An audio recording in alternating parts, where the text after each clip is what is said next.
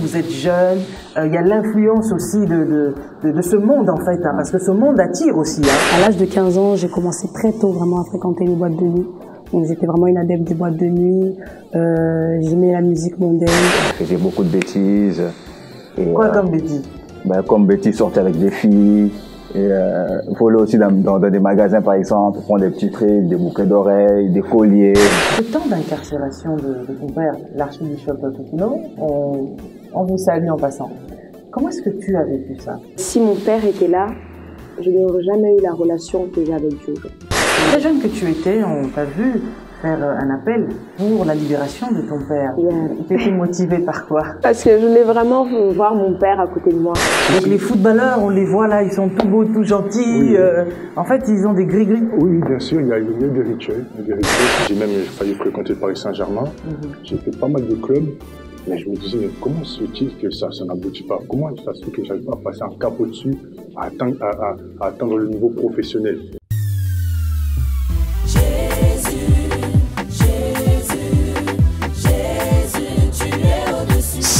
Casarema est une bénédiction pour vous. J'aimerais vous encourager, à nous encourager à votre tour en disant on aimerait devenir partenaire avec Casarema.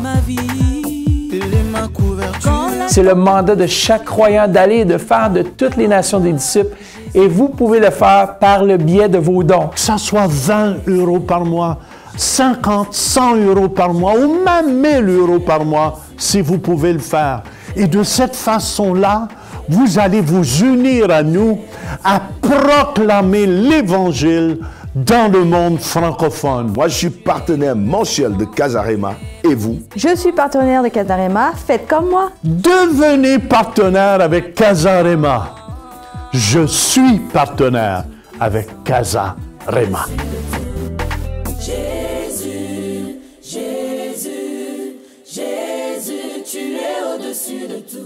Mesdames et messieurs, bonjour, bienvenue euh, sur Casarema, euh, votre émission pour la jeunesse, donc les jeunes avec le Saint-Esprit. Euh, Aujourd'hui, pour euh, cette première, euh, nous venons vers vous avec un thème, un grand thème, la génération montante. Et sur ce plateau, je ne suis pas seule, je suis bien accompagnée, en tout cas avec des jeunes, aussi bien des, des, des, des, femmes que des hommes. Alors, euh, honneur aux dames quand même. Hein. Nous avons ici Pasteur Grasse, bonjour. Servante Brenda, bonjour. Bonjour. Nous avons euh, serviteur Congrès, bonjour. Bonjour. Et le serviteur Abraham. Bonjour. Voilà, alors j'espère que ça va. Vous êtes quand même euh, heureux, heureuse d'être là sur ce plateau. Parce que ce qui est vrai, c'est que le but de cette émission, c'est d'impacter un jeune, d'aider un jeune et surtout de gagner une âme au Seigneur. Amen. Parce que aujourd'hui, c'est vrai que autant c'est facile de gagner un jeune, mais autant c'est aussi difficile de gagner un jeune. Vous comprendrez pourquoi tout à l'heure. Mais d'abord, une question. Euh, bah, quand je poserai des questions, ça sera euh, la même question pour tout le monde. Hein. Euh, la génération montante, qu'est-ce que ça représente pour vous hein? On va peut-être commencer par euh, vous, Pasteur. Euh, la génération montante, pour moi, ça représente comme une nouvelle armée mm. qui vient reprendre les armes des pères. Lorsqu'on parle d'une génération, on parle de père et fils, comme euh, Abraham, Isaac et Jacob. Et lorsqu'on parle d'une génération montante, on, on parle d'une nouvelle armée qui dépose leurs armes et une nouvelle, une autre armée qui reprenne, qui reprenne les armes que l'ancienne génération a déposé. Et donc, c'est vraiment des nouvelles personnes qui viennent. D'accord. Et avec euh, un objectif de vraiment faire peut-être encore mieux. Voilà. De changer les choses. Ah, super. Pour euh, Brenda? Euh, alors, euh, Toujours dans la même pensée. Euh, pour moi, une nouvelle génération, c'est justement la reprise tout en euh, tout en se caractérisant et en se plaçant sur ce que les pères ont fait précédemment, mais en amenant justement, en reprenant le flambeau, mais en amenant un nouveau souffle, quelque chose de nouveau. Euh, Ecclésias dit une génération s'en va, une autre revient. Donc c'est vraiment euh, une génération qui, qui, qui, doit impacter de la même manière que les pères l'ont fait, mais euh, de manière plus forte. Et euh, d'où le fait, d'où le mot montant justement pour montrer que euh, cette génération doit monter encore. Super. Et vous bon, Moi, c'est pour dire que par rapport à ce thème-là, c'est juste pour, pour dire que Dieu actuellement, il a besoin plus ou moins de, de, de- un renouvellement, un renouvellement, un rafraîchissement de, de l'esprit. Mm. Parce que bon, c'est pas que nos pères n'ont pas fait grand chose, c'est juste pour euh, continuer mais avec plus d'impact, Mhm. impacter pour toucher. Donc euh, si euh, je peux conclure, enfin pour euh, rejoindre, Dieu a plus besoin de la jeunesse pour vraiment impacter parce qu'il veut une jeunesse dynamique, une jeunesse qui est vraiment euh, qui a le zèle, qui a vraiment l'envie de, de servir le Seigneur. Donc euh, c'est pour ça si on, va dans Joël 2, verset 28, qui dit Après cela, je répandrai mon esprit sur toute chair. Vos fils et vos filles prophétiseront, vos anciens auront des songes et vos jeunes gens des visions. Dieu a mis euh, la jeunesse en avant parce que bon, la jeunesse doit impacter, parce que Dieu veut terminer avec la jeunesse. Il a commencé avec les anciens, il veut, il veut terminer avec la, la jeunesse. C'est pour ça, par rapport à ce verset-là, Dieu vraiment, il veut vraiment impacter, vraiment que la jeunesse soit vraiment, on va dire, un exemple, un leader qui puisse porter ce leadership, quoi. Donc, euh, par rapport à- Bah, merci beaucoup, Abraham. Alors moi, je, je voulais juste dire par rapport à ça que Dieu est en train de préparer beaucoup de jeunes qui s'élèvent, Mm. pas seulement dans le ministère, mais dans tous les médias, que ce soit dans la politique, que ce soit dans la vie. Parce que nous sommes arrivés dans un temps où il y a des jeunes qui s'élèvent pour servir Dieu, notamment nous voyons ça aussi dans l'histoire de Samuel, que j'aime beaucoup, qui euh, la Bible dit à l'époque, il y avait plus de vision. Mhm. Mais il y avait déjà un serviteur qui était là, mais la Bible dit qu'il n'y avait plus de vision. Donc quand il n'y a pas de vision, la Bible dit, c'est un peuple sans frein. Mhm. Donc on a une vision qui arrive par rapport à la jeunesse, pas seulement pour nous, mais pour nos pères aussi qui sont là pour nous aider à bien faire des choses selon la parole de Dieu. Ah bah, super. Euh, J'aimerais bien qu'on parle aussi euh, euh, de l'appel. Qu'est-ce que c'est que l'appel selon vous? Euh, Toi, par exemple, aujourd'hui, tu es pasteur, mais tu es, tu es jeune. Et quand on parle de l'appel, pour toi, par exemple, grâce Coutinho, quelqu'un pourrait dire que oui, c'est trop facile. Euh, son père euh, est serviteur de Dieu, sa mère est servante de Dieu. C'est tout à fait normal qu'elle aussi aujourd'hui prêche la parole de Dieu. Ça pourrait être normal. Mais euh, pour une autre personne, euh, on pourrait dire oui, mais bon, il faut que tu fasses des efforts. Il faut. C'est comme si toi, c'était normal parce que les parents sont prédicateurs. Euh, pour toi, cet appel, c'est arrivé comment et comment est-ce que tu, tu, tu, tu as accepté cet appel d'abord? D'abord, pour commencer, c'est que je ne suis pas, euh, je ne prêche pas entre guillemets parce que mes parents sont prédicateurs. On voit les enfants de pasteurs, concrètement, c'est que les parents sont pasteurs, mais les enfants, c'est terrible. C'est que ils sont pas du tout dans l'appel. Et lorsqu'on parle d'appel, on parle de quelque chose de personnel. Dans la Bible, on nous ramène dans le livre de Samuel, lorsque Samuel est appelé. Et lui, le sacrificateur, était là, mais Samuel, c'est le seul qui avait entendu la voix. C'est que lorsqu'on parle d'appel, on parle d'une rencontre personnelle. On parle de quelque chose qui se fait un face à face avec Dieu. C'est que lorsque j'ai reçu l'appel, je l'ai reçu, je me rappelle, comme c'était hier, à l'âge de 7 ans, dans une vision nocturne, où je voyais Dieu m'appeler. Et moi, c'était quelque chose qui m'excitait déjà depuis longtemps parce que mes parents étaient, mes parents n'ont pas été la cause qui ont fait en sorte que Dieu m'appelle, mais mes parents étaient ces gens-là qui me motivaient afin de pouvoir répondre à l'appel. C'est que mes parents étant pasteurs, donc déjà ma mère, c'est que j'admire, c'est waouh, une femme peut se tenir comme ça. Mon père, dans les miracles, me disait non, moi aussi j'ai envie de servir Dieu. Et ceci est en train déjà de bouillonner en moi, donc j'avais déjà cette chose-là en moi. À l'âge de 5 ans, je m'enfermais dans la chambre, commençais à apprendre des choses, essayer un peu de, de faire comme papa et maman quand on rentrait des cultes. Et sans pour autant savoir que un jour, Dieu m'avait vraiment appelé.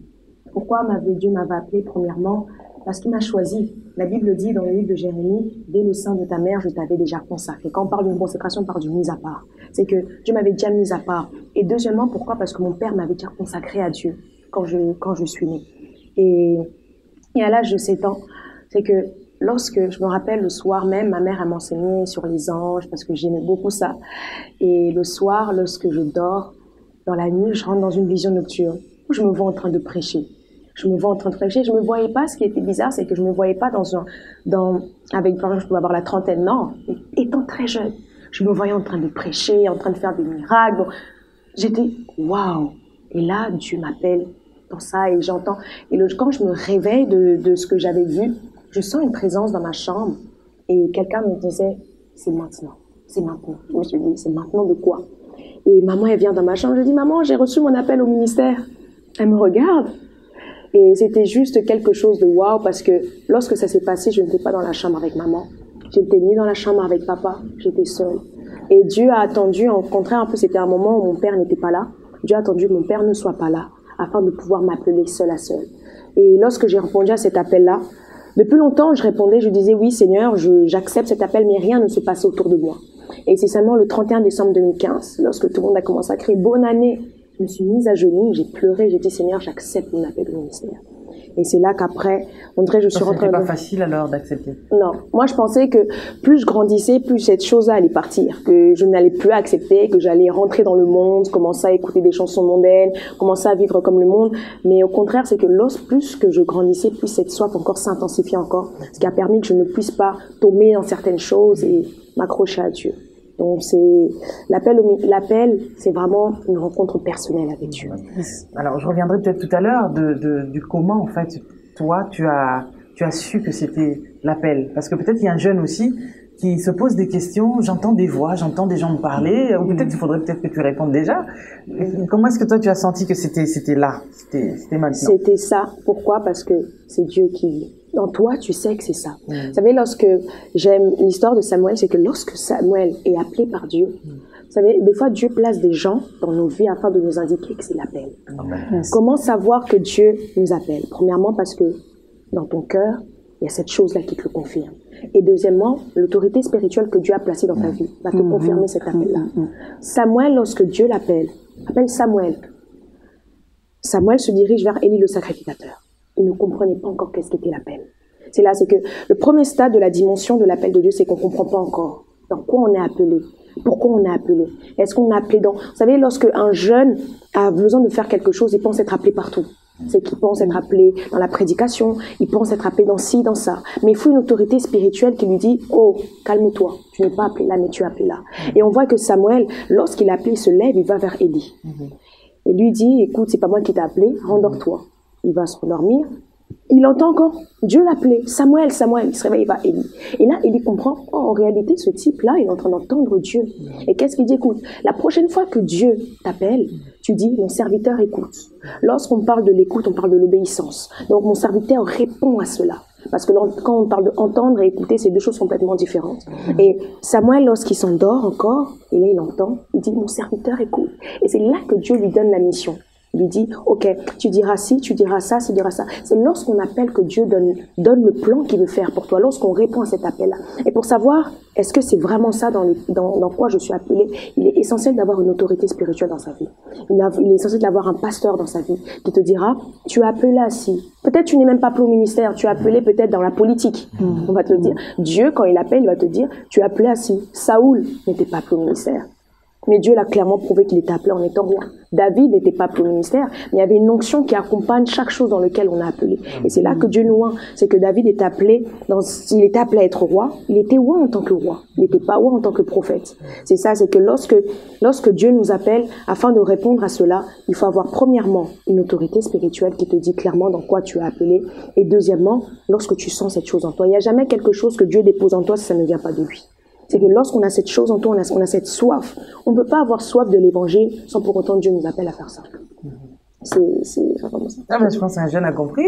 Alors, euh, Brenda, euh, l'appel pour toi euh, pour moi, simplement, euh, l'appel, comme l'a dit ma, ma soeur Grace, c'est euh, une, une chose personnelle avec Dieu. C'est euh, quelque chose de fort, mais c'est quelque chose de personnel. L'appel ne se fait pas en groupe. On n'a pas besoin de 10, 20 pour avoir l'appel du Seigneur. Et euh, par rapport à la question que vous avez posée euh, à ma sœur, juste à côté, vous avez dit, euh, est-ce que c'est le fait que vos parents euh, servent le Seigneur qui a fait que vous, aujourd'hui aussi, vous deveniez pasteur? J'aimerais dire que euh, Dieu ne regarde pas d'où nous sortons. Dieu ne regarde pas à la famille que nous avons. Euh, pour ma part, personnellement, euh, mon père est un musicien, est un artiste musicien congolais euh, très reconnu, et, euh, et ma mère est une femme qui fréquentait beaucoup ces milieux. Donc j'ai grandi euh, sans pour autant connaître le Seigneur. Rien autour de moi, ni même mes tantes, mes tontons, mes oncles ne connaissaient le Seigneur. Vraiment pour dire que euh, Dieu peut nous prendre de n'importe où. On peut très bien se retrouver dans un désert. On a l'impression que on n'a pas de moyen de sortir. On a l'impression qu'il faut peut-être qu'on joue de certaines relations. Mais Dieu nous prend de là. Dieu peut nous prendre de quelque part. Et Dieu m'a pris de cet endroit-là honnêtement, très honnêtement, comment j'ai connu le Seigneur, ça s'est vraiment fait de manière très complexe. Euh, donc j'étais, enfin, j'avais, j'avais une certaine vie, euh, une vie qui ne glorifiait pas forcément le Seigneur. Et, euh, et le Seigneur m'a amené dans l'orientation de mon appel par la rencontre de mon père spirituel. Lorsque je l'ai rencontré, j'ai œuvré à ses côtés. Et il a comme été un père pour moi, sachant que euh, j'ai été quand même, euh, j'ai eu une enfance où je n'ai pas réellement grandi avec mon père. Donc j'ai vraiment vu votre cette, père euh, spirituel oui, mon père spirituel, l'apôtre Paul Mwanga. D'accord. Donc euh, avec qui j'œuvre encore jusqu'à aujourd'hui. Donc euh, au jour où je l'ai rencontré, je l'ai vraiment pris comme un père. Ça a vraiment été euh, pour moi un mentor, un coach. Il m'a montré la voie, le chemin, de la même manière que euh, Élie a montré la voie à Samuel, en lui disant lorsque Dieu va se représenter à toi, tu vas lui dire parle, ton serviteur écoute. Et c'est de la même manière que mon père m'a pris sous son aile, euh, m'a enseigné les bases de la vie chrétienne, comment marcher avec le Seigneur. Et petit à petit, je me découvrais une chose qui n'était pas commune à d'autres. Donc j'avais des amis, j'avais des gens autour de moi et je me suis rendu compte que je n'étais pas comme eux. Dans peut-être dans la manière de parler, on discutait et je me rendais compte qu'il y avait des sujets euh, qui ne m'intéressaient pas plus que ça. Et malgré toutes ces influences et toutes ces choses, je, je sentais comme comme un besoin de me séparer, comme un besoin de d'être mise à part. Et, et je me sentais de plus en plus tirée, de plus en plus attirée. Et, et j'allais souvent voir mon père et je lui posais des questions. Qu'est-ce que c'est que On ne peut pas ceci connaître le nom de votre père? Oui, l'apôtre Paul Mwanga.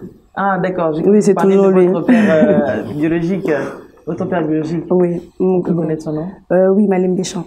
Donc c'est un artiste musicien qui chantait euh, avec Kim que- Emelia. comment est-ce que lui, il a, il, a, il a reçu ou perçu, en fait, euh, euh, cette conversion de sa fille Euh, mon père l'a très bien perçu. Mon père l'a très bien perçu. Euh, bon, il n'a pas vraiment compris, mais il était très content et il s'est dit, au moins dans la famille, eh ben, il y a quelqu'un qui prie le Seigneur. Et, euh, et aujourd'hui, il est de plus en plus intéressé. Euh, ma famille, euh, ne, enfin, certains membres de ma famille n'ont pas forcément compris ce changement, ce revirement. Beaucoup disaient. Euh, oui, on a l'impression que tu es de moins en moins présente. On a l'impression que euh, quand on parle, eh ben, tu n'es pas là. Euh, mais ils n'ont pas compris que j'ai le, le Seigneur a fait un travail en moi, de sorte que euh, aujourd'hui il y a certaines choses qui ne vont pas forcément euh, m'intéresser. Mais aujourd'hui, ma famille reconnaît que le Seigneur m'utilise et euh, ça se reconnaît par des petites choses. Si on n'arrive pas à influencer sa famille, on ne pourra pas influencer les gens dehors. Les gens de ma famille euh, vont vont souvent m'appeler, me dire est-ce que tu peux prier pour nous? Euh, Je viens d'emménager. Là, j'ai l'exemple d'une cousine à moi euh, qui a pris un nouvel appartement et elle me dit oui, euh, j'ai besoin de toi pour qu'on puisse prier pour cette maison, que le Seigneur puisse vraiment demeurer dans cette maison. Euh, ma mère, quand elle est malade, elle m'appelle, elle me dit voilà Brenda, j'ai mal à la jambe. Est-ce que tu peux faire quelque chose pour moi? Prie, ton, prie ton Dieu, prie ton Dieu qui fasse quelque chose pour moi. Et je rends gloire au Seigneur parce qu'aujourd'hui, elle commence petit à petit encore à s'approcher de Dieu. Par moments, elle m'appelle à 5 heures du matin, j'ai envie de prier avec toi. Et on prie ensemble. Et, et je vois que Dieu est en train de faire quelque chose. Et je lui toute la gloire pour ça. Waouh, extraordinaire. Voilà, on est, on est, on est appelé à impacter et le Saint-Esprit nous influence pour qu'à notre tour aussi nous influençons aussi d'abord notre entourage et ensuite les autres aussi. hein. Ça c'est vraiment, c'est super, c'est important. Alors, euh, Congrès, l'appel, ton appel à toi, comment est-ce que c'est arrivé? Mon appel euh, s'est fait euh, un jour quand j'étais au travail, parce que ça s'avère avant que je me consacre vraiment dans l'œuvre de Dieu, j'étais euh, euh, j'étais en train de faire du foot, j'étais footballeur, et je travaillais à côté en même temps. Et c'était à l'âge de 20 ans, je me rappelle, c'était en plein, en plein travail. Du coup, euh, c'était un certain jeudi, je peux pas oublier ce jour-là, c'était comme si c'était hier. J'ai, J'aimerais euh, bien que vous parliez un peu Ouais. plus fort. euh, excusez-moi. Donc c'était un certain jeudi, donc euh, il y a eu un monsieur, un monsieur qui est rentré dans le magasin, un SDF, comme ça, les gens le suivaient. Et euh, il s'avère que ce monsieur, quand il m'a regardé, j'ai ressenti on va dire, un tressaillement, quoi, comme si euh, j'ai senti des- la chair de poule. Après, il y a quelque chose qui m'a dit de, de, de l'approcher. J'ai approché ce monsieur-là, euh, mais je sais pas, quand, quand j'ai approché ce monsieur-là, je, je, je me sentais euh, différent. Différent, je sais pas, j'avais l'impression d'être parti. Et Parti comment? je sais pas, j'avais l'impression que je, je ne voyais plus ce qui se passe autour de moi. J'ai l'impression que j'étais figé sur ce monsieur-là. Et euh, qu'est-ce qui s'est passé? De là, euh, j'accompagne le monsieur, on va dire, à, à la caisse, parce que j'étais vendeur. Je l'accompagne à la caisse. Le monsieur me dit, euh, je cherche une paire de chaussettes blanches. Du coup, le monsieur n'est pas du magasin. hein. Du coup, il m'a dit non, regardez dans cette rangée, et il reste une seule paire de chaussettes blanches. Du coup, j'ai regardé, effectivement, il restait une paire de chaussettes blanches. Du coup, ça, ça, ça, ça m'a, ça m'a interpellé. Wow, mais qui c'est ce monsieur-là? Après, au jour à venir, quand le monsieur est parti, je commençais, on va dire, à me sentir transformé. Mhm. Je commençais à me sentir transformé. Et c'est comme si, on va dire, euh, je, je, je ressentais mon appel. Je ressentais mon appel avec Dieu. Et Dieu m'avait appelé depuis longtemps à, à, à me consacrer à lui. Mais avec le foot, plus ou moins, j'étais pas trop, on va dire, euh, euh, attentif à l'appel de Dieu. Mais moi, pour dire que dans tout ça, Dieu m'avait appelé depuis longtemps, mais on va dire, je traînais un peu les pieds parce que voilà, j'avais le foot à, à- à côté, j'a- j'avais le travail et tout ça, et Dieu m'a fait part à travers mon père spirituel que j'étais appelé vraiment à, à Comment il s'appelle? Euh, Le pasteur, l'apôtre Douglas Tiangeka. Mhm. L'église Seb. L'église de Résurrection. exactement, oui, c'est bien ça. Voilà, il est, il est derrière moi, il, il me suit, vraiment, il me- il m'encourage vraiment à, à ne pas lâcher, il me fait savoir que non, le fait de, de, de répondre à l'appel de Dieu, c'est c'est pas une perte de temps. Au contraire, c'est c'est de gagner euh, vraiment dans le Seigneur. Et dans tout ça, vraiment, je, je bénis l'éternel parce que vraiment, dans tout ça, je, je me sens retrouvé, quoi. Je me sens retrouvé dans, dans- Ah ben, super. Euh, Wow. euh, Abraham, Oui. l'appel, ton appel à toi est arrivé comment? Alors moi, mon appel est arrivé. Déjà, je suis né dans une famille chrétienne.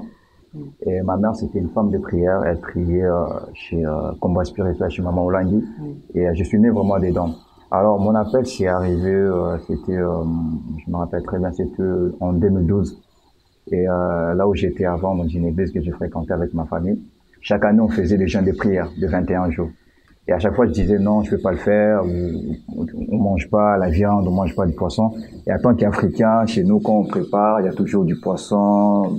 Je disais mais qu'est-ce, comment je vais faire ça? À chaque fois, je disais ça. Mais un jour, je me suis décidé, j'ai dit non, je vais le faire.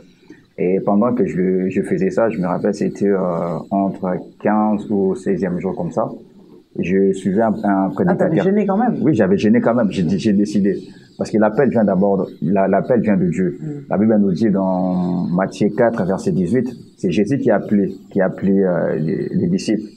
C'est comme euh, la sœur a parlé par rapport à, par rapport à Élie et Samuel. L'appel vient d'abord de Dieu. Tu peux naître dans une famille chrétienne, mais tu n'es pas sauvé.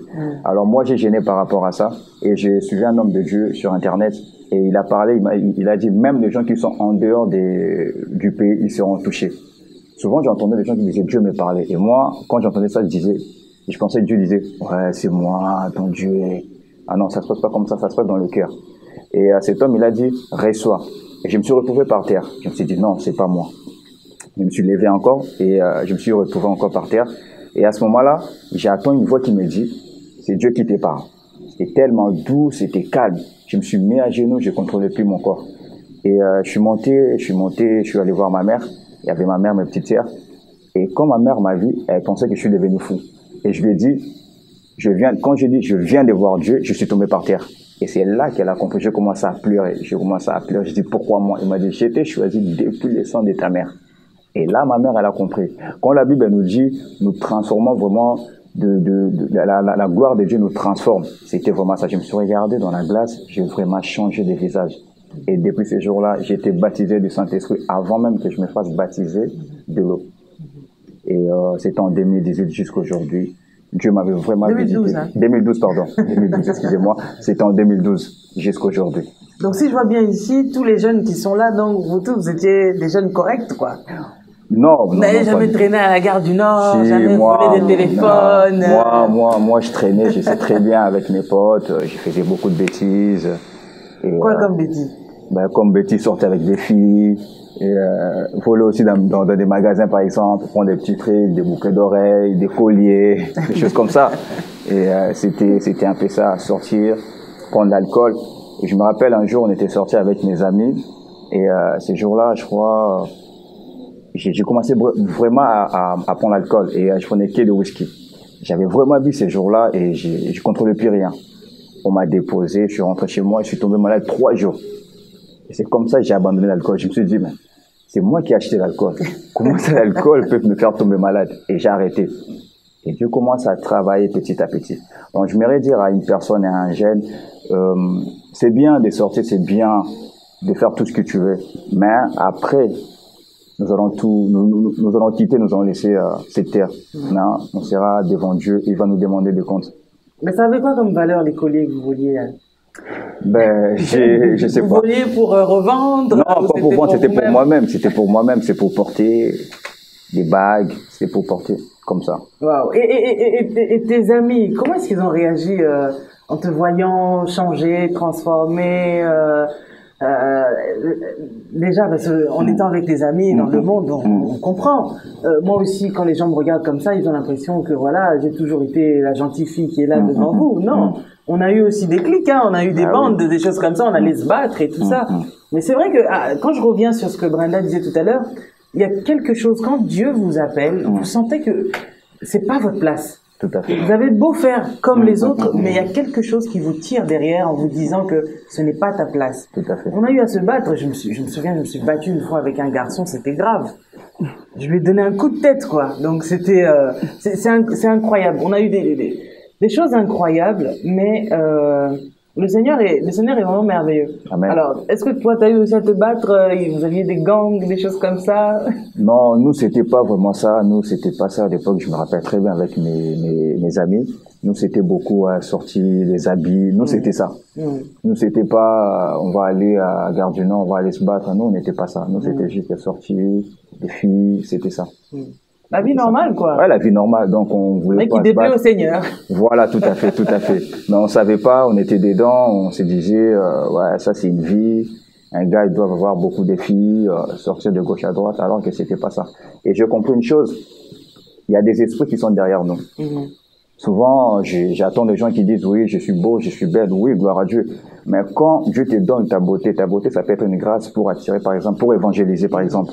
Mais derrière, il y a des hommes qui viennent, tu ne sais pas pourquoi ces hommes-là viennent. Mhm. Ou euh, il y a des gars qui disent oui, je suis beau, euh, il y a des filles qui sont tout le temps derrière moi. Mais c'est pas toi, c'est un esprit qui est derrière toi qui te pousse à faire ça. Maintenant, quand tu connais pas les Seigneur, tu vas te dire non, euh, je m'amuse. Mais à ta maison, tu peux tomber par des filles qui sont dans la sorcellerie, par exemple. Il y a des filles qui sont déjà possédées. Parce que beaucoup de gens, ils pensent en Europe, il n'y a pas la sorcellerie. Ah, ben La sorcellerie, ça existe. Ça existe. Que ça soit fille, que ça soit garçon. Mais je bénis Dieu, on est passé par là, mais on n'a pas eu de, on n'a pas eu de, de- voilà, je peux dire même des maladies, il nous a protégés jusqu'à aujourd'hui. C'est la grâce de Dieu. Alors, tes amis euh, qui te voient aujourd'hui, Euh, franchement, mes amis, euh, Dieu commence à faire petit à petit. Au début, c'était pas facile. Il y en a qui disaient, ouais, comment est-ce qu'ils te percevaient Ils avaient l'impression qu'il est devenu fou. euh, Non, même pas, même pas. Bon, il y en a qui comprenaient, il y en a qui comprenaient pas. Je me rappelle, je me rappelle un jour, on était parti jouer au foot et euh, j'avais des photos de mes amis sur Facebook. Bon, à l'époque, je mettais des boucles d'oreilles, ma coupe elle était un peu bizarre et euh, j'ai changé des photos et on s'est retrouvés. C'était un week-end, on était parti jouer au foot. Il y a un de mes potes qui me dit, mais toi t'es devenu bizarre, je ne sais pas, tu nous prends pour des sorciers. Je dis, mais comment ça? T'as supprimé nos photos. J'ai dit, frère, je te donne un exemple. Tu as déjà vu quelqu'un qui met des jeans déchirés avec des boucles d'oreilles prêcher la parole de Dieu? Tu vas aimer ça? Non. J'ai dit, c'est comme moi. C'est mon Facebook, je fais ce que je veux. Pourquoi? Parce que Dieu m'a touché. Je ne peux pas vous forcer à changer. Mais c'est avec les temps. Et il a mal pris, c'était vraiment... Mais Dieu était avec moi, il y a, il y il y il y un ami qui était là, il m'a dit, mais c'est normal, il a changé. C'était la première fois qu'il prend, qu'il me défend. Je le regardais, j'ai dit, waouh, c'est ça. Eh bien, c'est super. Bah, on va rebondir quand même euh, sur euh, cette question de, de euh, cette, cette gloire présente, euh, cette vie. Euh, vous êtes, vous êtes, vous êtes tout jeune, vous êtes beau, vous êtes belle, vous attirez les regards. Les gens vous voient dans la rue, peut-être au travail. Euh, je ne sais pas comment est-ce que vous faites pour gérer votre beauté euh, et, préserver la gloire de Dieu dans vos vies. Mais la réponse, ça sera juste après la pub. L'église CEP Résurrection organise pour vous trois jours de programme d'évangélisation et de délivrance. Le vendredi 2 mars de 19h à 21h30, le samedi 3 mars de 17h à 20h30, le dimanche 4 mars de 10h30 à 12h et le deuxième culte de 13h30 à 15h30. Ça sera trois jours exceptionnels, trois jours d'impact, trois jours d'influence, trois jours où nous voulons amener le règne de Dieu avec des orateurs que Dieu a bénis, suscités, que vous aimez, notamment moi-même, le pasteur Douglas Kionjeka de l'église CEP Résurrection, l'évangéliste Freddy Olela, qui est le président de Joshua Generation Ministries basé en Australie, à Melbourne, également le pasteur Papitio Akewa, que Dieu utilise puissamment, qui est au niveau de l'église Parole du Salut France. Ne manquez pas ce programme. Le Seigneur sera au rendez-vous et Christ sera glorifié. Ça sera un moment de repositionnement. Dieu va nous repositionner dans notre héritage. Au 22 rue Honoré Oursel, 94 290, Villeneuve-le-Roi, porte 22. Notez bien, un service de navette sera assuré une heure avant et après chaque programme. Que Dieu vous bénisse abondamment et venez nombreux. Maman Lise, bonne nouvelle à Casarema. Une excellente nouvelle en cette année 2018. Nous devons plus que jamais prier pour nos églises, nos pasteurs et la francophonie ainsi que nos États. Oui, parce que prier pour les autres est une très grande porte de bénédiction. Lorsque Job eut prié pour ses amis, Dieu lui restitua plus que ce qu'il avait perdu. Donc la prière pour les autres, l'intercession, est une très grande opportunité d'entrer dans le cercle de la bénédiction. Voilà pourquoi le 19 février à 19h débute cette chaîne de prière en faveur des malades, des opprimés, tous ceux qui ont des problèmes. Et surtout encore pour nos églises. Les amis, nous avons une équipe de guerriers, une équipe de 300, une équipe de triomphateurs, une équipe de gagnants. Venez et inscrivez-vous pour ceux qui sont déjà là et pour ceux encore qui vont arriver les grandes choses vont commencer dans votre vie. N'oubliez pas cette date, le 19 février, à partir de 19h, c'est parti. Nous allons vous communiquer un numéro de connexion pour ceux qui sont dans l'Hexagone et pour ceux qui sont éparpillés partout dans le monde entier. Vous aurez la facilité ou euh, l'opportunité de vous connecter via Skype. Chers intercesseurs, qu'attendez-vous? Rejoignez-nous dans cette grande équipe pour prier en faveur des autres. Donc la prière est la clé et la prière est la solution. Il y a une grande joie à prier en faveur des autres.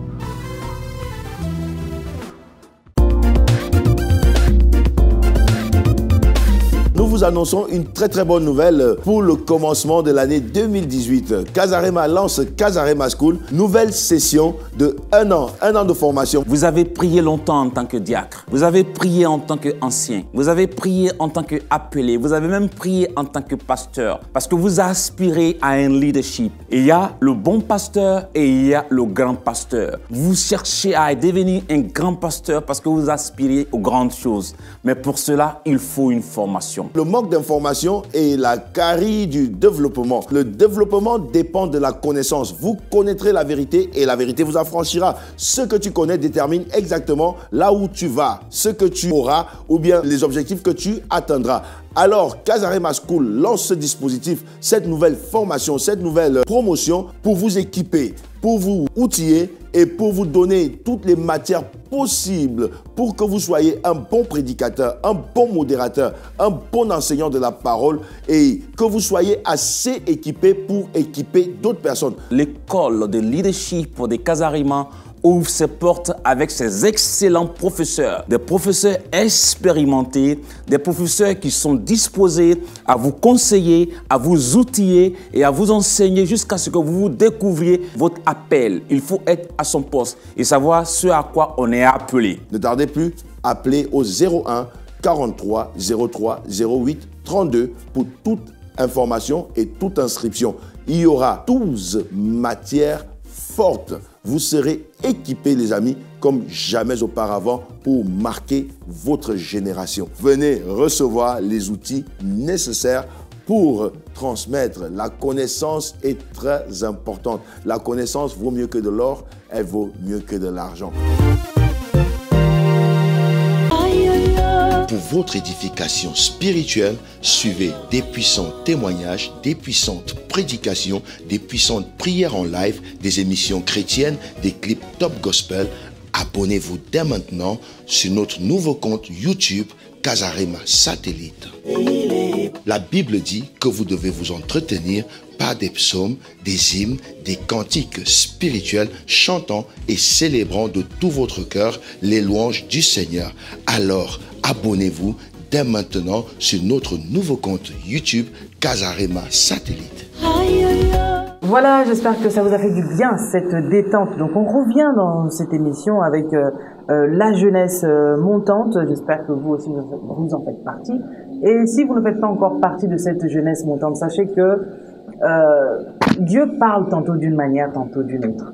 Et deux fois, on attend tous de voir un, un, un homme géant avec plein de barbe assis sur un grand trône et qui descend là, donc qui, qui, qui, qui, vous apparaît comme ça et vous dit oui, c'est moi Dieu. Non. Dieu peut parler au travers de ces jeunes qui sont ici, tout autour de cette table, simplement parce qu'en fait, euh, il vous appelle.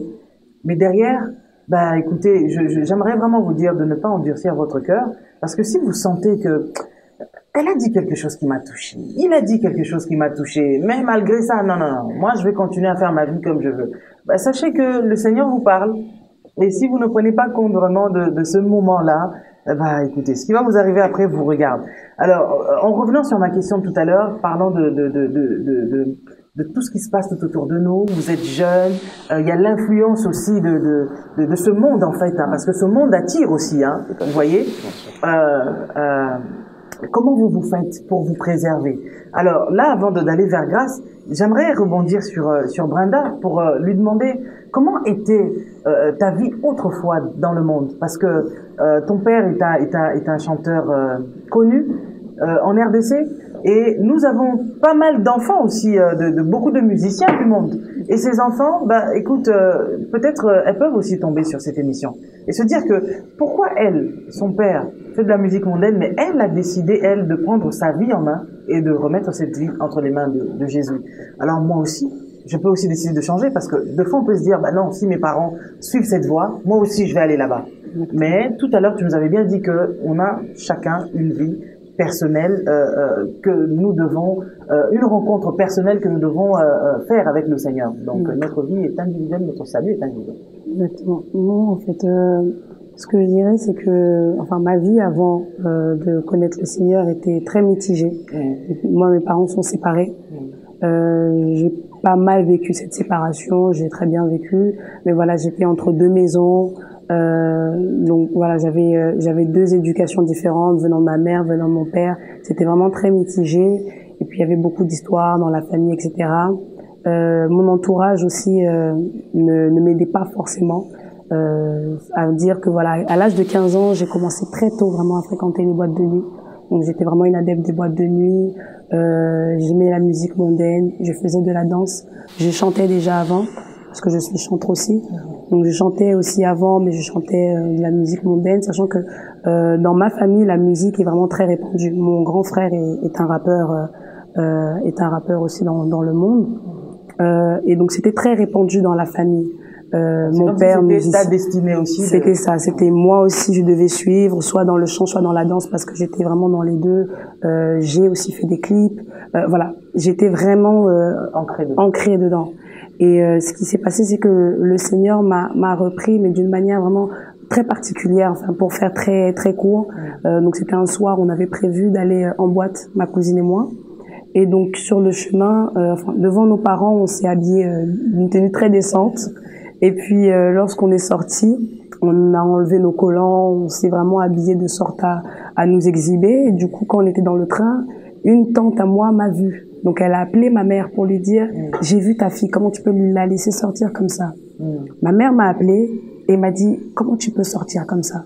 Et je lui ai dit mais non maman, je, je, je t'assure, j'ai rien. Donc les enfants sont conscients en fait. voilà, ils font, sont hein. conscients que ce qu'ils font c'est mauvais et j'étais consciente de ce que ce que je faisais c'était mauvais et, et j'aimais plaire, j'aimais euh, j'aimais que le regard, l'attention soit tournée vers moi comme si il me manquait quelque chose et que euh, sans sans quoi si je n'avais pas cette chose, ben je devais solliciter le regard des autres et euh, je devais en tout cas en, tout cas chercher à ce que quelqu'un me regarde, à ce que quelqu'un me considère, à ce que quelqu'un m'aime vraiment. J'étais en, en manque, je pense, et en recherche d'amour permanent. Et ce soir-là, on- donc on était dans le train.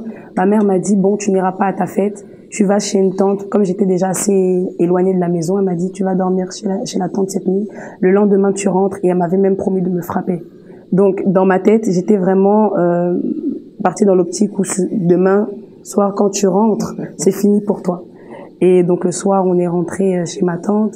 Et ma tante était, tu- enfin c'était pas ma tante, mais c'était une amie de ma mère. Mais bon, chez nous, les Congolais, c'est la famille. Et donc du coup, cette tante euh, en question priait beaucoup. Et le matin, quand, quand on a déjeuné ensemble, elle nous expliquait, elle nous disait, mais pourquoi vous donnez pas votre vie au Seigneur, etc. Et euh, elle nous disait, bon, allez à l'église. aujourd'hui, c'est parce que c'était un samedi, et le lendemain c'était un dimanche. Donc le dimanche matin, elle nous dit allez à l'église. Il y a des églises pas très, pas, enfin qui sont très bien à côté, pas très loin. Allez à l'église. Et euh, elle nous a donné des pagnes pour nous couvrir parce qu'on était vraiment dans des tenues pas possibles, très mal habillés. Donc elle nous a donné des pagnes. Et puis moi, je suis allée dans l'optique de faire changer euh, à ma mère d'avis. Parce que je savais que j'allais me faire frapper le soir. Donc je me suis dit, si je lui dis que je suis partie à l'église, elle va se dire, ah bon, elle va peut-être oublier l'épisode euh, d'hier soir. Donc du coup, j'y suis vraiment allée pour ça, mais j'avais jamais mis les pieds dans une église. Euh, je savais pas à quoi ça ressemblait. J'avais personne autour de moi qui priait, donc je savais vraiment pas à quoi ça ressemblait. Et euh, on est arrivé dans cette allée et il y avait plusieurs portes. Donc il y avait plusieurs églises et euh, et j'ai dit à ma cousine, on entre dans la porte. euh, dès qu'on voit quelqu'un entrer, et ben on suit cette personne, on entre par cette porte. Et euh, donc on a attendu, on a attendu. Et une femme qui était avec sa poussette a, est entrée par une porte. Et donc on l'a suivie. Et je suis entrée par cette porte et j'en suis plus jamais ressortie jusqu'à aujourd'hui, au Seigneur. Mais euh, donc ça s'est vraiment en fait passé comme ça.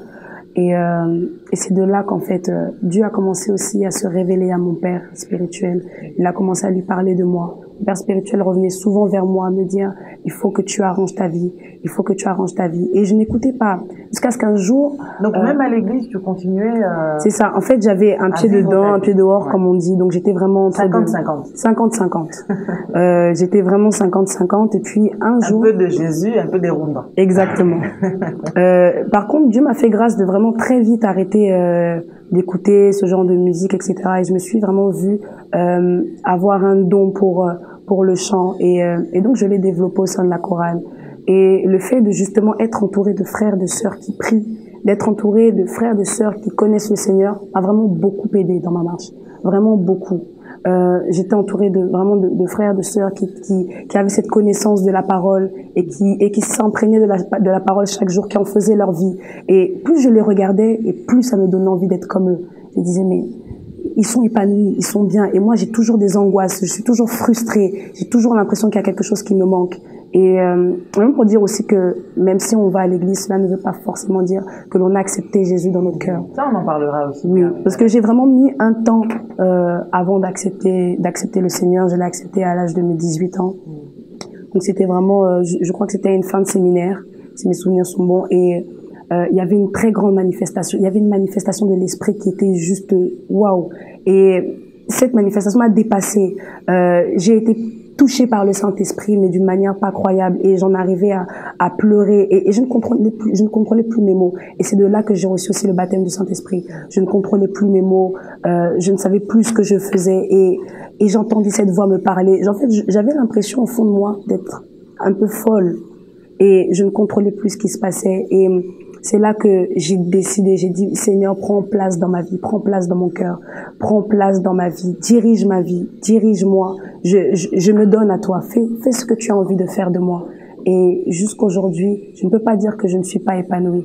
Ce que je recherchais auparavant, par mes petites tenues, par euh, mon maquillage exagéré, ce que je recherchais en fait, c'était l'amour. Et cet amour, je l'ai trouvé en Jésus. Amen. Super. Ben, Moi, j'aimerais bien entendre un acapella, hein, pour savoir si c'est un peu un un don de la famille. petit quelque chose, j'en sais rien. Euh, il n'y a point de Dieu comme Jésus. Il n'y a point de Dieu comme Jésus. Il n'y a point de Dieu comme Jésus. Il n'y a point de Dieu comme Jésus. Super. Voilà, alors juste avant de revenir vers Grâce, euh, concert live, euh, connexion divine, connexion. Concert divine connexion, excusez-moi. Euh, c'est avec euh, le chanteur Onel Mala, donc euh, ça, aura lieu le 3 mars 2018 à l'espace L'Embarcadère, 5 rue Édouard Poisson, 93 300 Aubervilliers. Donc euh, voilà, ça c'est le concert qui vous attend pour le 3 mars avec le chanteur Onel Mala. N'oubliez pas, c'est date le 3 mars à l'espace L'Embarcadère. Alors je reviens vers Grace. Est-ce que parce que les parents étaient déjà pasteurs, on peut dire que toi, ta vie avant de, de vraiment te, te, consacrer au Seigneur entièrement, c'était euh, bon, je traînais avec des, tes amis. Qui étaient tes amis? Des frères en Christ, sûrement. Ou bien des, des, des, enfants, parce que tu es enfant de pasteur, c'est normal, non? Euh, Non. Alors, déjà, j'ai pas eu une vie euh, mouvementée euh, où j'ai volé, je suis allée, je traînais à garde Dieu, je suis déjà une personne à la base qui ne sort jamais. Donc, traîner, etc. Donc, ça me disait déjà rien jusqu'à aujourd'hui. Et donc, euh, la chose, c'est que j'ai eu la grâce, je pense, d'avoir déjà grandi dans cette famille-là. Euh, j'étais vraiment très différente de mes frères et sœurs. C'est que moi, les musiques mondaines, ah ah, ça ne passe pas dans mes oreilles. C'est que je traînais avec des musulmans. Tu connais Adèle? Je, ne connais pas, je connais pas. ça va. Alors, et les musiques mondaines et tout, etc., ça, mes trucs. C'est que je traînais avec des musulmans. Déjà, je suis une personne qui est très ouverte d'esprit. C'est que je reste avec tout le monde. Que tu sois, je ne sais pas qui, je ne sais pas Donc, quoi. Donc, tu as eu la grâce comme ton prénom, grâce. Voilà. C'est que je, j'étais avec des musulmans, des gens qui me côtoient et qui connaissaient pas Jésus-Christ, etc. Et je voulais faire comme le monde. C'est que je me disais, moi, je peux pas être aussi en arrière comme ça. C'est que tout le monde est un peu dans le move. Moi, je peux pas être là seulement Jésus, Jésus. C'est que la chose, c'est que des fois, il m'arrivait même à l'école, parce que j'écrivais, j'écrivais dans mes cahiers Jésus, je t'aime et tout. Et un jour, je me rappelle, une euh, de mes profs dit, mais grâce, on en a marre. Euh, tu écris dans tous tes cahiers Jésus, Jésus, Jésus. Et j'avais tellement honte. Je disais, oh non, c'est pas moi, c'est mon petit frère. Pourtant, j'ai pas de petit frère. j'ai pas de petit frère. Oh non, c'est mon petit, c'est, donc je mentais parce que j'avais vraiment honte de présenter ce Jésus-là. Et lorsque je voyais les, les autres personnes en train d'écouter des musiques mondaines, ça me faisait très mal à la tête. C'est que à chaque fois que je me mettais d'essayer d'écouter des musiques mondaines, j'aurais mal à la tête pendant une heure. C'est que j'aurais mal à la tête. Du coup, je sais que c'était pas pour moi ça. Et à chaque fois, je les voyais en train d'écouter des musiques mondaines. J'étais là avec eux, j'étais là avec eux. J'écoutais aussi avec eux parce qu'ils mettaient sur moi. Je veux pas fermer mes oreilles et j'écoutais avec eux, je les regardais, etc. J'avais honte de parler de Jésus. C'est que, oh grâce, tu pries où? J'avais vraiment honte. Ils savaient que mes parents étaient pasteurs, mais c'était à cette époque-là, on ne vivait pas le, les prémices du réveil qu'on a maintenant. Et encore, c'est même pas encore les prémices, mais on vivait pas encore cette chose-là. C'est que j'étais vraiment, oh, je suis la seule dans ce monde-là. Et ensuite, après, Dieu a fait grâce, j'étais vraiment pas dans les, dans les choses, copains, euh, je traîne, je sais pas pourquoi j'avais déjà en fait une vie consacrée auprès de Dieu?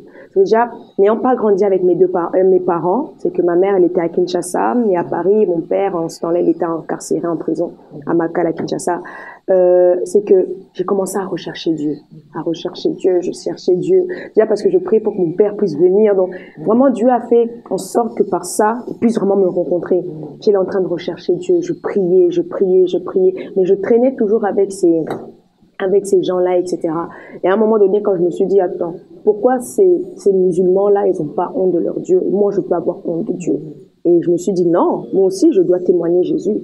Et c'est comme ça que dans tous les, dans tous les établissements, je suis passée, on m'appelait l'enfant de Jésus. C'est que même les proviseurs, l'enfant de Jésus. Dans le baccalauréat, euh, l'enfant de Jésus. C'est que trop de choses, c'est que l'enfant de Jésus ne pouvait pas avoir de l'échec. C'est qu'à chaque fois qu'il y avait quelque chose, l'enfant de Jésus, les profs étaient là, non, mais l'enfant de Jésus va faire quelque chose pour nous. C'est que tout le monde, en fait, m'a donné cette identité-là. Vous savez, on n'est pas chrétien parce qu'on le dit, parce qu'on le dit. La première fois qu'on a appelé les chrétiens, c'était en, à Antioche, où on les appelait pour la première fois chrétiens parce qu'ils ressemblaient à Christ. C'est que je ne disais pas, oh, j'aime Jésus, mais le fait de pouvoir refléter Jésus, il disait que elle, vraiment, elle est vraiment enfant de Jésus. C'est que je me souviens que tellement que j'étais en train maintenant de présenter Jésus, il y avait même des musulmans il venait à l'église disant écoute moi j'ai envie de connaître ton Dieu. Parce que ton Dieu de la manière qu'il fait c'est que même à l'école il y a mes amis certaines personnes avec qui je restais ils ne permettent ils se permettaient pas de pécher à côté de moi. Vous savez lorsque vous êtes dans une vie de consécration il y a des gens qui se permettent pas de, faire n'importe quoi à côté de vous. C'est qu'ils se disaient si on fait ça devant grâce elle va nous demander d'arrêter après on va arrêter. Venons, on fait ça loin d'elle. Et quand je dis non, il faut pas faire ça, ils disent l'enfant de Jésus a parlé. C'est que vraiment, c'est que j'avais pas cette vie-là de mais Dieu a fait grâce et que ah, si je voulais y aller, Dieu me répéchait rapidement. Dieu me répéchait rapidement, me rappelant mon identité en disant que tu n'es pas fait pour aller là-bas. Tu n'es pas fait pour aller là-bas. Et c'est comme ça, c'est que lorsqu'on a appelé, on a appelé à un moment donné, comme vous l'avez bien, vous l'avez bien dit tout à l'heure, on se sent mal à l'aise. On se dit que ce n'est pas notre environnement. On ne peut pas régner avec les ténèbres, pourtant nous on est lumière. Et c'est c'est un peu ça. C'est vrai que c'est une chose euh, euh, importante que tu viens de soulever. Ce temps d'incarcération de, ton père, l'archibishop Totino, on, on vous salue en passant. Comment est-ce que tu as vécu ça? Parce qu'avec cette soif que tu avais du Seigneur, peut-être que parfois dans ta tête, tu t'es dit, bon, si papa était là, il allait peut-être m'aider, ça allait peut-être... euh, Je sais pas. Comment est-ce que tu as vécu ça? Déjà, euh, si mon père était là, je n'aurais jamais eu la relation que j'ai avec Dieu aujourd'hui. Pourquoi? Parce que moi, j'étais le bébé à papa. C'était jusqu'à aujourd'hui. j'étais vraiment le bébé à papa. C'est que j'étais trop papa. C'est que j'aurais pas eu le temps de découvrir Dieu profondément. Parce que, vous savez, on, on commence à avoir une grande connaissance de Christ par une rencontre personnelle qu'on a Christ. Donc, euh, Joseph et Jacob, Voilà, c'est ça. fallait qu'on l'éloigne de son père, hein, pour qu'il Bon. puisse vivre Ouais, un peu, ce mais que le Seigneur voulait. La chose, c'est que moi, j'étais, je me rappelle, lorsque mon père était incarcéré, je devais avoir 6 ans ou 5 ans. Je on me l'a annoncé comme ça, de bon, je voulais pas me le dire. Mais ma sœur était dans la cuisine, on nous appelle à partir de Kinshasa, mon frère répond à l'appel. Oui, euh, papa, on vient de l'incarcérer maintenant et tout, etc. Et moi, j'étais en train de jouer. Et on dit, on crie très fort, oui, papa vient de se faire incarcérer. J'étais là. Il vient de se faire incarcérer, je connaissais pas encore ce mot-là. On vient de le mettre en prison. Et moi, je pensais que c'était par exemple quelques mois. Et ça a pris à peu près, on l'a condamné à 10 ans. Et j'étais là, oh comment ça va se passer Je me rappelle, je faisais des crises quand j'étais petite. Je voulais voir papa, je voulais voir maman. Du coup, je pleurais. La nuit, je pleurais. La nuit, je pleurais. Et je me dis peut-être que oui, d'un côté, j'aurais beaucoup appris de Dieu. Mais d'un côté, j'aurais pas beaucoup appris de Dieu. Parce que je devais passer par ce moment-là de, ou sortir de ma zone de confort. Dans, aller dans le désert, être brisé par Dieu. C'est que Dieu était vraiment en train de me façonner. Dieu est en train de me former, faire en sorte que quand mon père a eu euh, l'AVC, j'étais la seule qui n'a pas pleuré. Mais lorsqu'il sort de l'hôpital en chaise roulante, parce qu'il m'enseignait toujours que lorsque dans toute situation, il y a toujours les anges de Dieu avec nous. Et il sort de l'hôpital en chaise roulante, je me rappelle de ce moment, tout le monde était là en panique, en train de pleurer. J'étais là, non, arrêtez, arrêtez de pleurer, Dieu avec nous. Et mon père, il sort, il était inconscient. Et j'arrête la chaise roulante, je dis, papa, l'ange de Dieu est là. Il me regarde. Je pense qu'il avait plus de souvenirs de ce qui se passait. Et il me regarde et je répète, papa, l'ange que tu m'as parlé, il est là. Il me regarde, il me sourit et il part. Et vraiment, ça, le fait que mon père ne soit pas là, n'a pas été là, ça fait en sorte que je puisse fortement grandir et avoir une rencontre vraiment personnelle avec Dieu. Pouvoir rencontrer ce Jésus-là qu'on- que mon père prêche, que mon père a vu.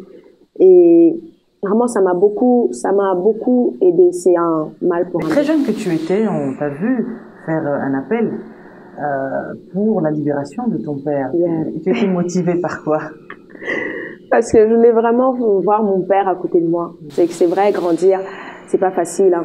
C'est que tu voyais des parents, des fois même je montais à l'école, mon père il était avec moi, mais en, en, pri- en maternelle. Oui, il y a des gens qui disent oui, papa m'a fait ci, papa m'a fait ça, et on te demande et toi? Tu là, tu, ça, c'est un brisement un peu. C'est quelque chose qui se casse en disant waouh. Après, je disais à mon père lorsque je l'avais au téléphone parfois, je lui disais oui papa, regarde aujourd'hui, il y a un enfant qui a dit que son père lui a acheté ça et tout et tout. Après, il me disait ok demain, t'en fais pas, tu aussi la chose. C'est que le, le cadeau ne remplaçait jamais l'absence. C'est que ça m'a motivé pourquoi? De pouvoir parler comme ça. J'avais déjà cette chose-là. Pourquoi? Parce que je voulais vraiment avoir euh, mon père à côté de moi et pouvoir grandir avec lui. Et comme les autres enfants, en fait. bah, Tu essayes, j'espère, déjà de rattraper le temps perdu. Yeah, même. vraiment énormément. Ah, super. Alors, euh, justement, est-ce que vous, euh, euh, garçons, ça- est-ce que le monde vous influence encore? Est-ce que ça vous arrive de fois euh, euh, d'avoir envie, euh, bon, allez, je, je, je vais aller écouter un peu la musique mondaine, je vais, oh, pourquoi pas me défouler un petit peu, euh, Christ, Christ tout le temps, euh, c'est un peu, non? Non, non, non, non. Moi, personnellement, non. Parce que. euh, Depuis que tu es sorti du monde, donc toi, vraiment, c'est Non. 100% Jésus. Mais j'ai coupé le pont avec le monde parce que, euh, comme je disais précédemment, j'étais dans le football, tout ça, j'ai connu un peu le monde, le foot. non. Qu'est-ce que tu as connu?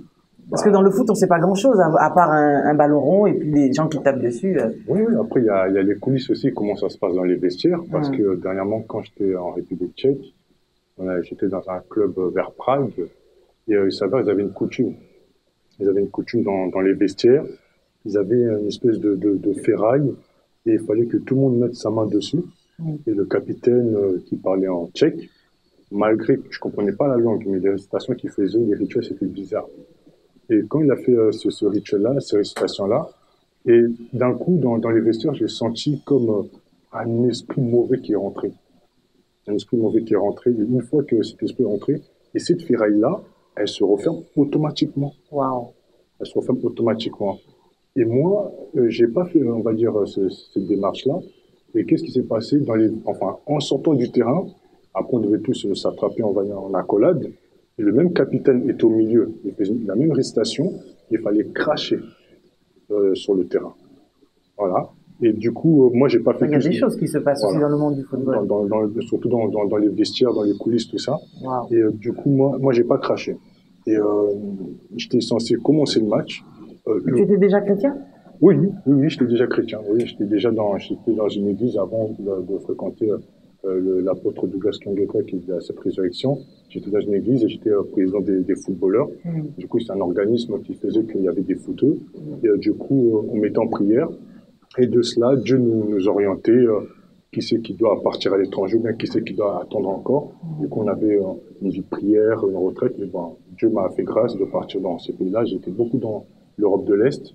Donc, j'étais en République tchèque, j'étais en Hongrie, j'ai même failli aller en, en Russie. Mais ça n'a pas donné, Dieu sait pourquoi. Bah, du coup, voilà, bah, dans, dans tout ça, il y avait des rituels. Il y avait des rituels qui se passaient dans le monde du football. Et Dieu me rappelait à chaque fois. Déstabiliser le adverse. Voilà, exactement. À chaque fois, Dieu me faisait comprendre que non, je je ne suis pas appelé à percer dans ce milieu-là.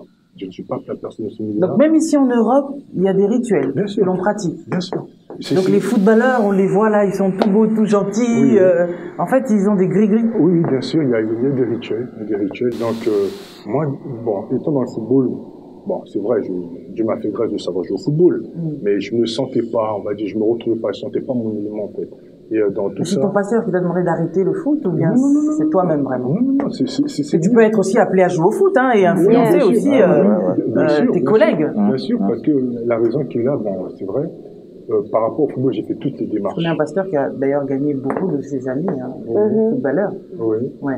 Donc, j'ai j'ai dû avoir beaucoup de, enfin, j'ai fait beaucoup de démarches dans, dans, dans le football. Mm. Bon, je suis parti, euh, j'ai même failli fréquenter le Paris Saint-Germain. Mhm. J'ai fait pas mal de clubs, mais je me disais, mais comment se fait-il que ça, ça n'aboutit pas? Comment ça se fait que j'arrive pas à passer un cap au-dessus, à atteindre, à, à- à atteindre le niveau professionnel? C'est juste ça qui me manquait.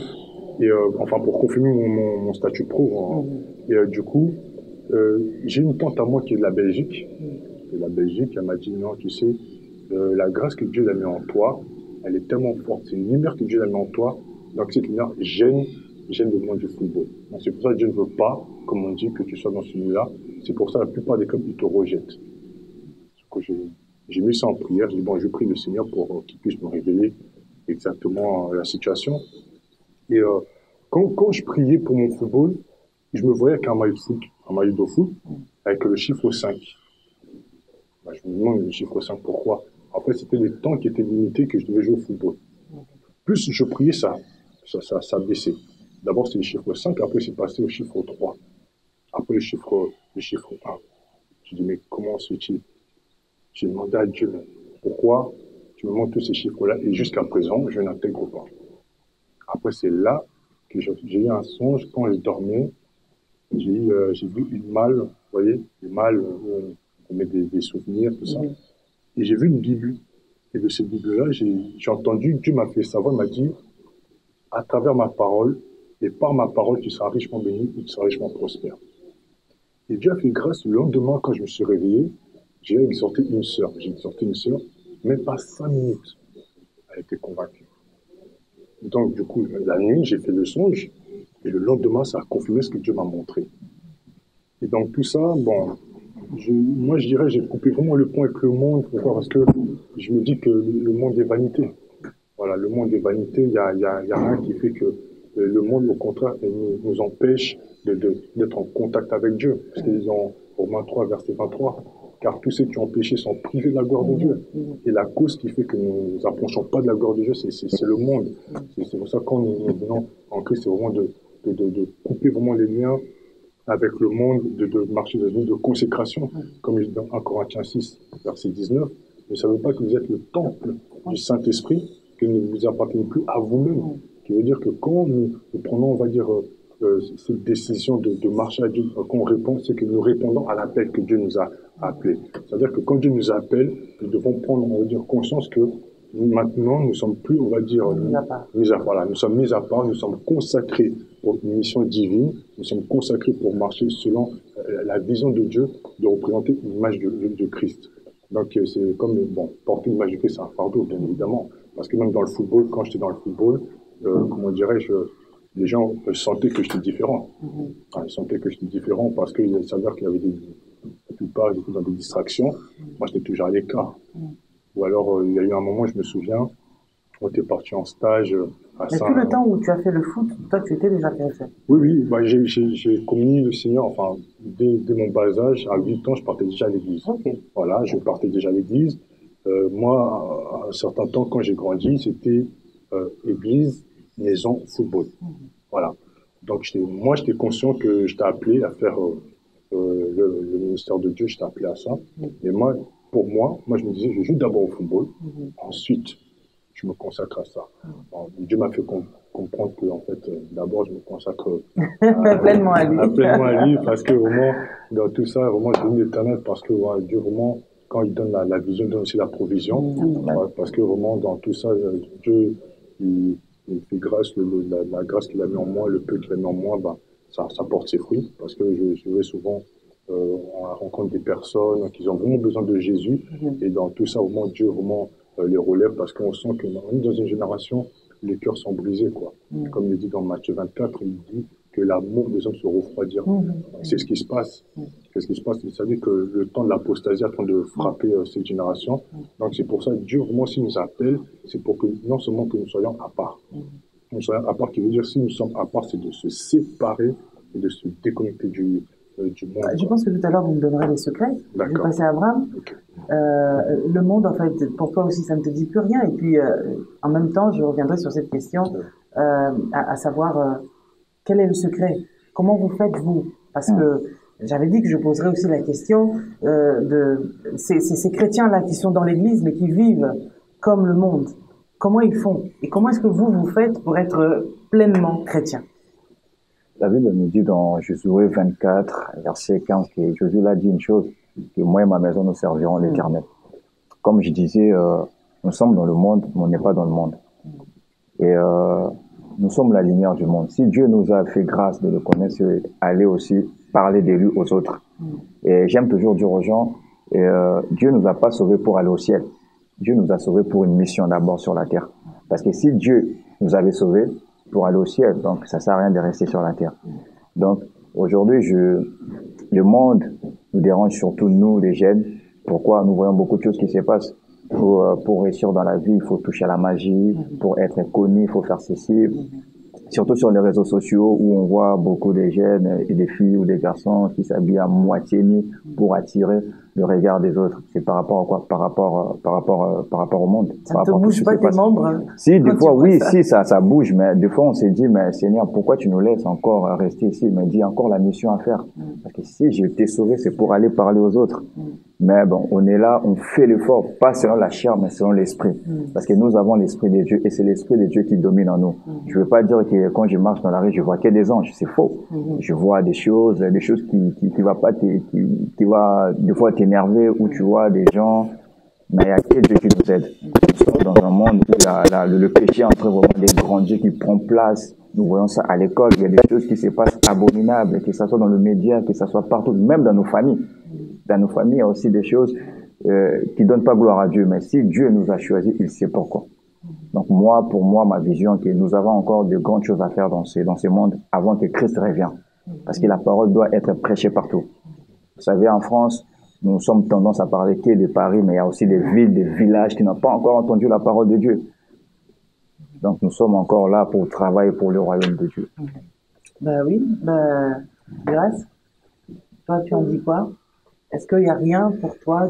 Dans tout ce que tu vois tout autour de toi Parce que c'est vrai qu'on est dans, dans une génération tellement connectée et que même si tu n'as pas envie de voir les choses, ben, les choses viennent à toi en fait. hein. Alors, toi tu penses quoi de tout ça? Rien ne t'attire dans tout ce que tu vois, ce que tu peux entendre, rien ne t'influence. Moi, ce que j'aime euh, toujours dire, celui qui aime Jésus s'empêche de faire certaines choses. Amen. C'est parce que j'aime Jésus que je vais m'empêcher, je vais dire non au péché. C'est parce que j'aime Jésus que si on me propose euh, quelque chose qui est à l'encontre de la parole, je vais dire non. Mais si tu es une personne qui n'aime pas totalement Jésus, c'est sûr que tu vas tomber. Ça, c'est dire clairement qu'est-ce que je fais ici. Parce que genre, il y a des gens qui disent, dans le monde, j'avais l'argent, mais depuis que je suis venu au Seigneur, on dirait fauché. C'est pas ça. C'est que la Bible dit à Josué que ce livre de la loi ne se lève pas de ta bouche. Me dit que le jour venu afin d'avoir du succès dans tes entreprises. C'est que ce livre de la loi nous rapporte de la richesse. C'est que si on me propose, oui, pour un million d'euros, tu décides de te donner Jésus, un jour ça va terminer. Mais Jésus-Christ, il est éternel. C'est l'éternité qui vient en lui.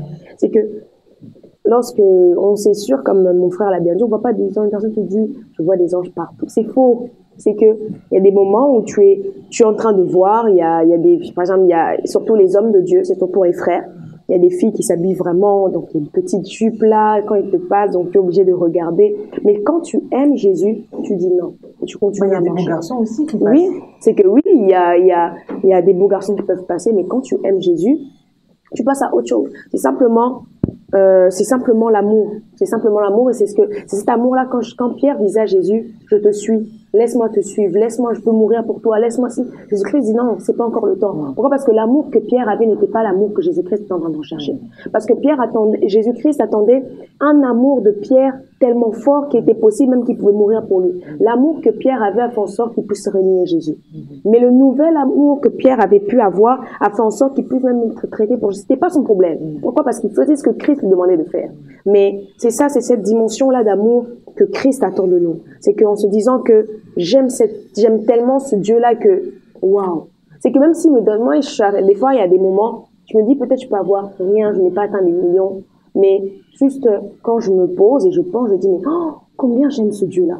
C'est qu'il y a plusieurs personnes qui sont qui sont mortes. On entend qu'il y a des choses qui se passent dans dans, dans le monde. Mais moi aujourd'hui je suis là, je suis en bonne santé. Juste pour cela, je peux encore aimer Jésus. Amen. C'est ça, c'est que on, c'est dans tout ce qu'on fait, c'est qu'on on n'aime pas le péché parce qu'on aime Jésus. On fait le ministère parce qu'on aime Jésus. Parce que il faut savoir avoir, parce que beaucoup de gens veulent être appelés au ministère pour un objectif, soit pour épater les gens, soit pour montrer qu'ils savent prophétiser, savent montrer qu'ils savent délivrer. Mais on le fait pas parce que on veut épater. Parce que Christ, quand il le faisait, il voulait pas montrer à qui que ce soit, mais il voulait montrer son amour. Et c'est ça, c'est que lorsqu'on aime Jésus, lorsqu'on aime, on aime le Dieu qu'on est en train de servir, on se permettra pas de faire n'importe Comment on quoi. reconnaît qu'une personne est convertie? Parce qu'aujourd'hui, nous avons des chrétiens païens Mhm. parmi nous. On, on voit beaucoup de jeunes qui sont zélés et qui, me semble-t-il, aiment le Seigneur. Mais quand vous les voyez en dehors de l'église, ce qu'ils font, ce qu'ils pratiquent, ou même des fois même dans l'église, même ils font des choses abominables. Vous entendez des jeunes sœurs qui vont avorter, des jeunes sœurs qui font des, des choses atroces. Mais derrière, euh, vous les voyez en train de, de servir le Seigneur.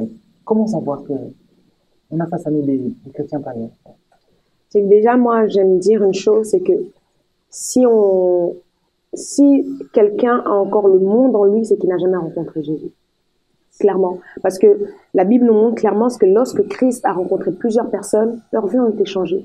On n'a jamais vu le fou de Gadara retourner dans le sépulcre une fois qu'il a été il a été délivré par Christ. On n'a jamais vu Bartimée redevenir aveugle une fois que Christ l'a rencontré. On n'a jamais vu euh, euh, euh, Pierre retourner dans ce qu'il faisait avant qu'une fois qu'il a rencontré Jésus. Pourquoi? Parce que lorsqu'une personne encore est dans l'église, une personne sert Dieu, mais est encore dehors dans le monde, c'est qu'il n'a jamais fait sa rencontre personnelle avec Christ. Parce que lorsque Christ vient, il vient enlever tout ce qui était ténèbres. Et il vient lui-même maintenant s'installer. Il vient maintenant pour te faire porter son identité à lui.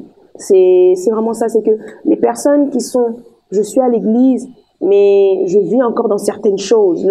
On appelle ça, ils appellent ça les péchés mignons. C'est que j'aime encore ces petits trucs-là qui me font encore du bien. C'est que clairement, tu ne connais pas encore Jésus-Christ. Parce que comme je l'ai dit tout à l'heure, c'est que lorsque tu aimes Jésus, tu te dis que ma vie est pour Jésus. Ma vie est pour Jésus. Que ma mère, elle aime souvent dire à la maison, vivez votre vie chrétienne.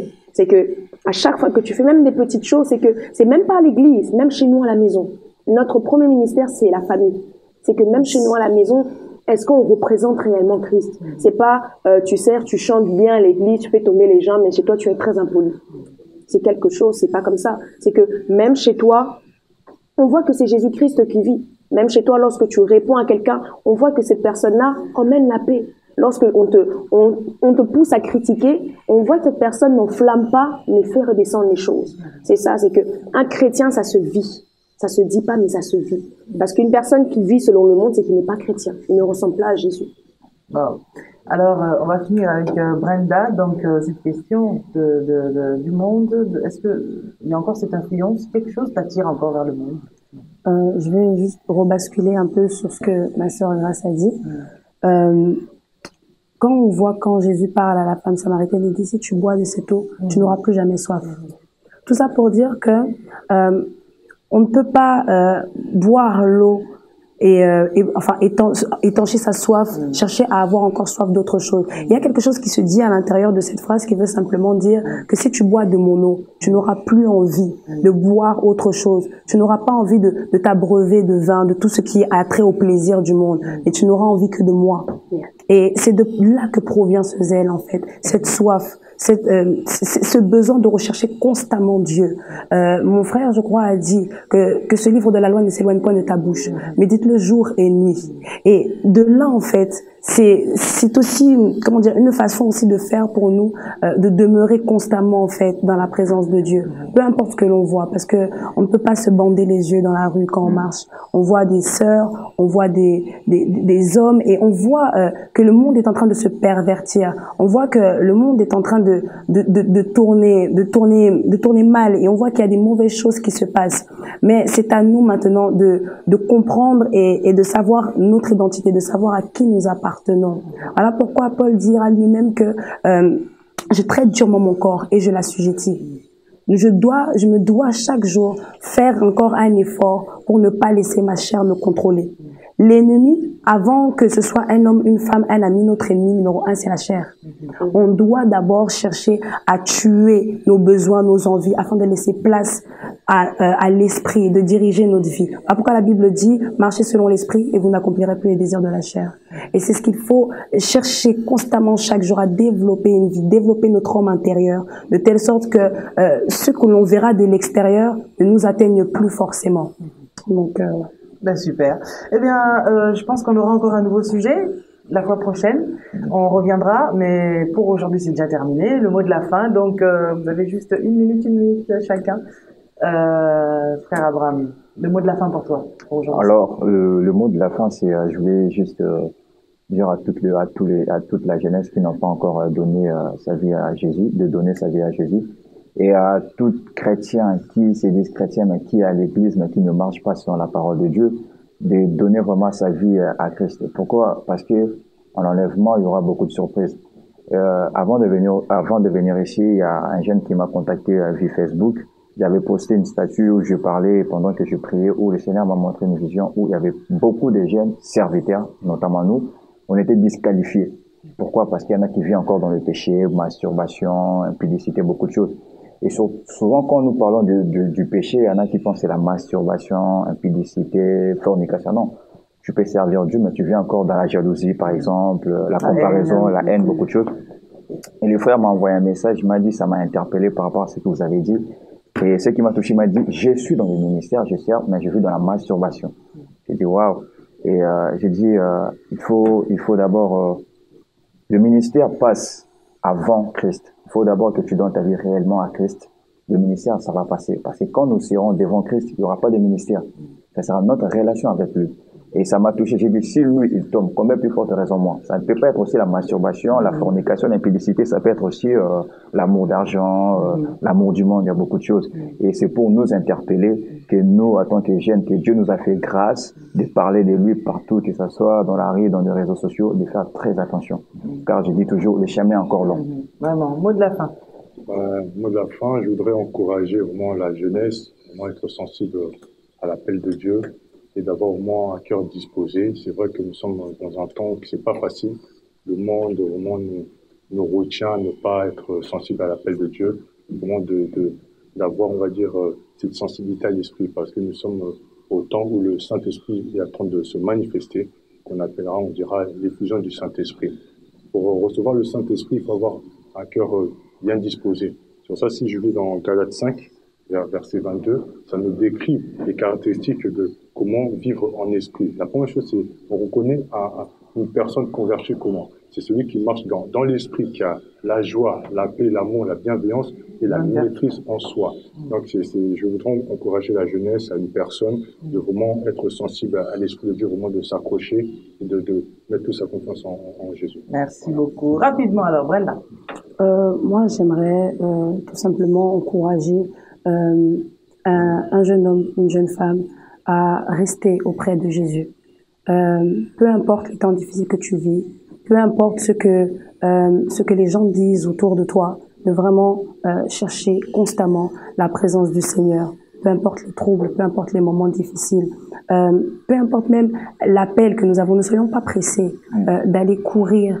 Ne soyons pas pressés. Quand Jésus euh, a établi les disciples, Marc dit qu'il les a établis afin qu'ils restent avec lui.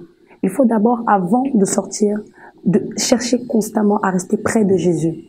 Il faut chercher, malgré l'appel, malgré le titre, malgré toutes ces choses, chercher à rester près de Jésus. Et même pour celui qui ne connaît pas le Seigneur, de rechercher le Seigneur. Parce que en soi, euh, on peut être entouré, avoir une tonne d'amis. On peut avoir euh, euh, des, la famille qui nous soutient. On peut être l'enfant chéri de tout le monde. Mais la seule personne qui peut nous guérir de nos blessures, c'est Jésus. La seule personne qui peut nous sauver, nous sortir de, de tous nos écarts de conduite, c'est Jésus. Donc vraiment encourager une personne aujourd'hui. Merci, Grace.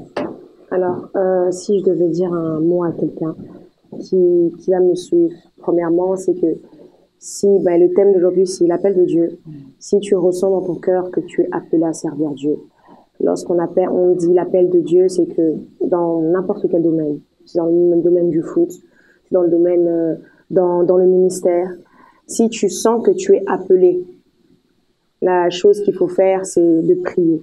Vraiment prier que le temps de Dieu, parce que le temps de Dieu est toujours le meilleur. Et lorsque tu sens que c'est le bon temps, de pas pouvoir se dire le passé que j'ai eu, la famille que j'ai eue, ce que j'aime, c'est que quand l'ange de l'éternel apparaît à Gédéon, Gédéon dit, mais, mais ma famille est pauvre.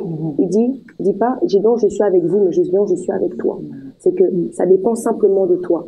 C'est que si tu sens l'appel de Dieu en toi, lance-toi. Parce que là, tu vas accomplir ce que Dieu veut pour toi. Merci, merci beaucoup. Merci à vous. On va se retrouver la fois prochaine. Je pense qu'on parlera aussi de comment est-ce qu'on doit impacter. Euh, N'hésitez pas à, à, à, partager cette émission. Ça sera de votre part vraiment euh, une bonne offrande. Hein vous savez, vous êtes chrétien, mais ne restez pas chrétien vous-même. Partagez tout autour de vous ce, ce bon message euh, de l'Évangile. Euh, et euh, afin que peut-être ton ami qui ne connaît pas le Seigneur, quand il va regarder tous ces jeunes, eux, ils ont donné leur vie à Jésus. Pourquoi est-ce que lui ou elle va continuer toujours à vivre comme elle vit? Parce que dans le monde, que personne ne vous trompe, il n'y a rien dit. Il n'y a rien. Il y en a qui disent que oui, depuis que je suis chrétien, je m'ennuie, il n'y a pas grand-chose à faire, euh, voilà, c'est Jésus le matin, le midi, le soir. Euh, il y en a même un qui avait dit, mais non, au paradis, on va s'ennuyer parce que ça sera louange matin, midi et soir et tout. Ouh là là, Laissez-moi vous dire que personne ne va s'ennuyer. Ceux qui s'ennuient, c'est parce que, comme ces jeunes l'ont dit, ils n'ont pas Jésus réellement. Parce que celui qui a réellement Jésus dans sa vie, eh ben, il n'a pas la place pour ressentir du vide. Parce que Jésus vient pour combler le vide que euh, nous pouvons avoir par rapport à un manque d'amour, euh, parce que d'autres ont perdu des parents, d'autres ont perdu je ne sais pas quoi. Jésus-Christ est la solution à tous nos problèmes. Voilà pourquoi nous avons besoin de lui. Tu as besoin de lui. Merci. On se retrouve prochainement, encore et toujours, dans cette émission Les Jeunes avec le Saint-Esprit. À bientôt. Bye bye.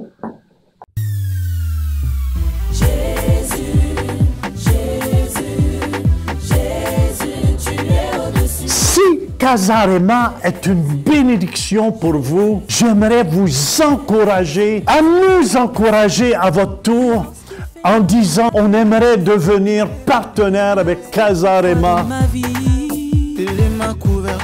C'est le mandat de chaque croyant d'aller et de faire de toutes les nations des disciples. Et vous pouvez le faire par le biais de vos dons. Que ça soit 20 euros par mois, 50, 100 euros par mois ou même 1000 euros par mois, si vous pouvez le faire.